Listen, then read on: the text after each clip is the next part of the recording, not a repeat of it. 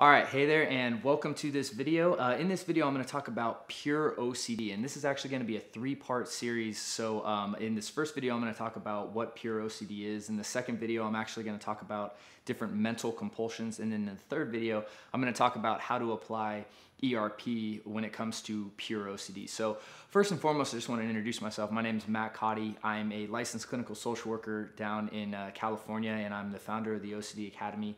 And so, uh, and, and, one of the reasons I wanted to make this video series is because I've had a lot of questions about this idea of oh, well, a pure OCD and how to treat it and why it's so different. And so I wanted to kind of in this first video explain pure OCD. Now, when we talk about pure OCD, the, the general thought process is, is that I just have obsessions and that I don't do compulsion. So it's, it's purely obsessional, right? And that's, that's the idea of purely obsessional OCD.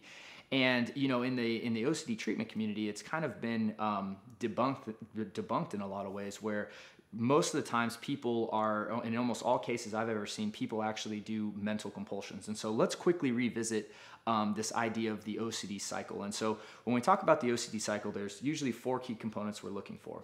And it's this idea of the obsession, which is the thought, right? The intrusive thought, the unwanted thought, the thought that then causes part two, which is the anxiety or the doubt that the person experiences. And then part three is the compulsive behavior that the, that the individual engages in to relieve the anxiety. And so part four is obviously the relief. And then they end up in this kind of loop that just takes place. So the more they do compulsions, the more they reinforce the fear and the more anxiety they experience. And it just happens on this loop. And when someone's really in OCD and really kind of stuck in that loop, it's almost like it, it, the best way I can describe it to somebody is that it's almost like these this lens or goggles that kind of falls over their their perception, and everything they see, uh, you know, is often related to this fear, right? And so when we talk about pure OCD, there's usually kind of three subcategories that I've found when uh, from almost everyone I've worked with and talked to um, that I find that, that fall into these, these, these categories. The first category is harmful obsessions, right? And so these might be thoughts that um, you know you're worried you might you might hurt someone or hurt yourself or hurt a loved one or you know or violent thoughts, right? And again, um, I want to be clear that these these thoughts, especially when it comes to the harmful religious and, uh, and sexual thoughts, um, are what's called ego dystonic. And one of the reasons that we're able to identify them as ego dystonic is because they're so distressful to the individual, right? So these thoughts are, they're, they're very different from impulses and fantasies, right? Because these thoughts don't align with the individual's true character and true identity. And that's why they're so distressing in the first place.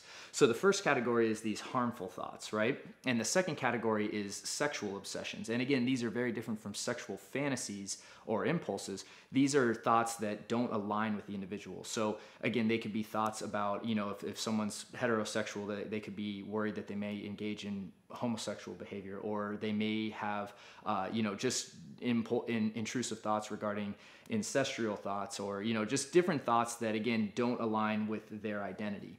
And then um, the finally the last category is the religious thoughts.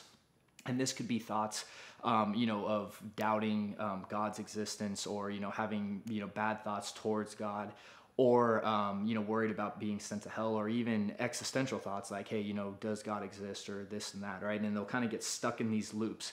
The point is though is, is that it's no different from the actual ocd cycle. What usually happens is that they have these initial thoughts they experience the doubt anxiety uncertainty and they engage in compulsive behaviors that are usually mental and in the next video, I'm going to talk about different mental compulsions that people engage in.